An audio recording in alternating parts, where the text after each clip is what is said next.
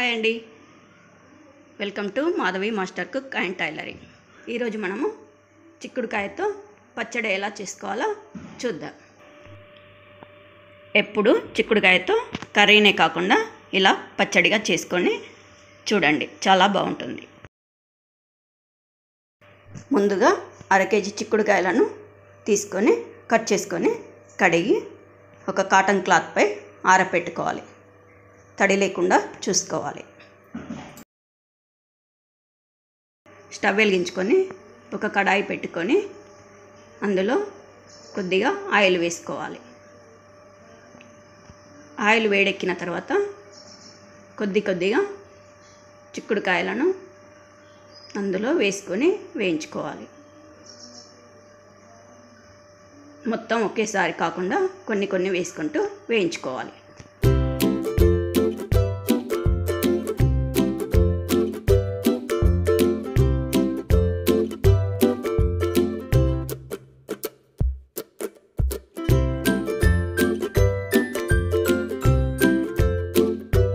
ఇలా వేగిన తర్వాత వాటిని ఒక గిన్నెలోకి తీసుకోవాలి. ఇప్పుడు మళ్ళీ కొన్ని వేసుకొని వేయించుకోవాలి.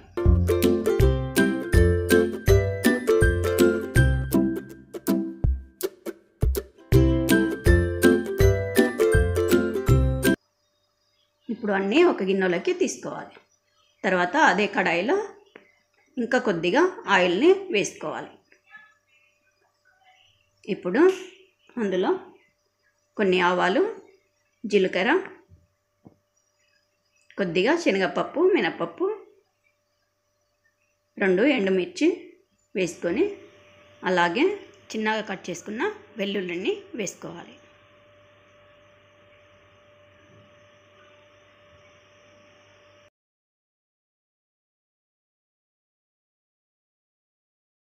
కొద్దిగా వెల్లుల్లి కచ్చా పచ్చాగా దంచుకున్నది కూడా వేసుకోవాలి.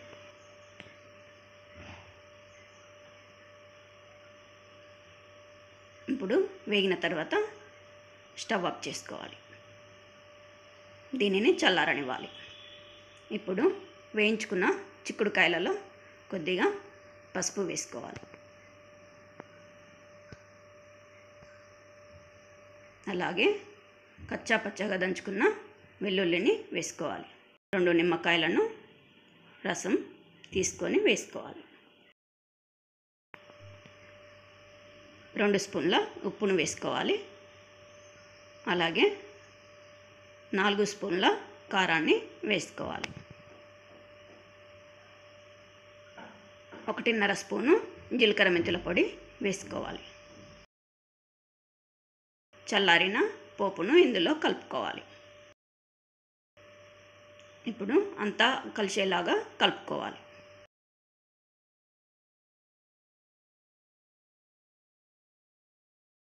ఎంతో టేస్టీ అయిన చిక్కుడుగాయ పచ్చడి రెడీ.